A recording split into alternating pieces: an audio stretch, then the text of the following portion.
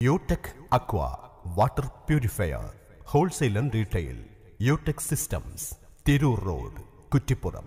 ലക്ഷദ്വീപിനെ സംരക്ഷിക്കുക എന്ന മുദ്രാവാക്യവുമായി L D F Athavanad panchayat കമ്മിറ്റിയുടെ നേതൃത്വത്തിൽ വിവിധ കേന്ദ്ര ഓഫീസുകളുടെ മുൻപിൽ പ്രതിഷേധ ധർണകൾ സംഘടിപ്പിച്ചു. L D F Athavanad panchayat ജനപ്രതിനിധികളുടെ നേതൃത്വത്തിൽ കരിപ്പോൾ പോസ്റ്റ് ഓഫീസിന് മുന്നിൽ സംഘടിപ്പിച്ച പ്രതിഷേധ ധർണ C P I M area secretary K P Sankaran ഉദ്ഘാടനം ചെയ്തു. വിവാദ നേതൃത്വത്തിൽ ഇപ്പോൾ നടപടികൾ ആരംഭിച്ചിട്ടുണ്ട്. അവരുടെ പ്രധാനപ്പെട്ട വരുമാന മാർഗമായിട്ടുള്ള മത്സ്യബന്ധനത്തിലുള്ള സൗകര്യങ്ങൾ പൂർണമായും ഇല്ലാതാക്കുന്ന രീതിയിൽ തീരപ്രദേശത്തുള്ള മത്സ്യ കെട്ടുകൾ പൂർണമായും പിന്നെ അഡ്മിനിസ്ട്രേറ്റർ പൊളിച്ചു നീക്കിയിരിക്കുകയാണ് ലക്ഷദ്വീപിലെ ജനവിഭാഗം നിഷ്കളങ്കരായിട്ടുള്ള ജനവിഭാഗമാണ്.